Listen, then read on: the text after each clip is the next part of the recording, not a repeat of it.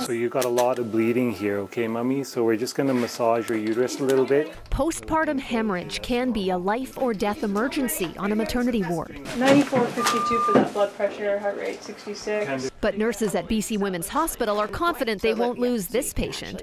Sim Mom is a high tech mannequin. We connect the blood pressure cuffs on them. We can check their pulse on their arms. We can check their oxygen levels with oxygen monitors. We can start IVs and poke them. Her purpose is to um, do training for emergencies that are come around with birth. We can do a breech delivery, you can do a hemorrhage at the time of delivery. She has a C-section abdomen, so you can simulate her having a cesarean.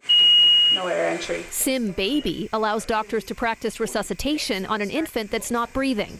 A simulation technician watches how the team responds to the emergency. If we were not doing these simulations on a regular basis, it's sometimes easy to lose some of the skill sets involved there. But Sim Mom and Sim Baby are starting to break down. They are degrading with time because we're using them so often. BC Women's would like to buy the next generation of Sim mannequins like this premature baby that are wireless and don't have to be tethered to a computer. A new SIM mom would cost $80,000. They're not cheap. But it's money well spent. These nurses have never failed a simulation. She's pulled through every time. Every single time. We're pretty good. We're pretty good. Shannon Patterson, CTV News, Vancouver.